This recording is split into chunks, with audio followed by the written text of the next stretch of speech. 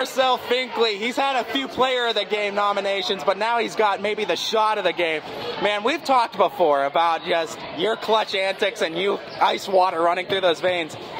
Was that shot drawn up for you to take that, or did you just see uh, see the green light yourself and went for it? No, the shot was not drawn up for me. It was a uh, play Rutgers, and um, you know, honestly, I'm like, somebody has to shoot it, so why not be me? You know, I practice that shot all the time, so I knew it was gonna fall. Are there butterflies in the stomach during that too? And if so, how do you guys, how do you push those down too in those clutch situations to come up with money shots? Honestly, no, it wasn't no butterflies. You know, like I practiced it a lot. So it was like bread and butter. You go out there and do it. Does teams like this where they're pressing you, they're pushing you the whole game, does that help you focus and hone in going down the stretch in these kind of late game situations? Yes, 100%. 100%. You look at this now, you guys get a big win over a big name opponent too.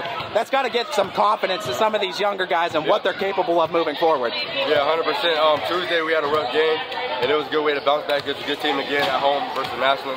So yeah, we just you know, a lot of young kids come to our games and they keep working. They'll be right here in a couple years. You bounce back off of a rough game Tuesday. You got another tough one this upcoming Tuesday. You're hitting the road against Glen Oak. How do you guys take this game but not let yourself get too confident going into the next one? Uh, just to remember what happened last Tuesday versus Louisville. Lock in at practice, lock in on film, and it's uh, come ready to play because Glen Oak is a great team. Falcons are rolling. They're four and one right now. Marcel Finkley has ice water running through his veins in all these contests. He knocked down a big shot that helped the Falcons win, 50 to 47 over the Tigers. Yep.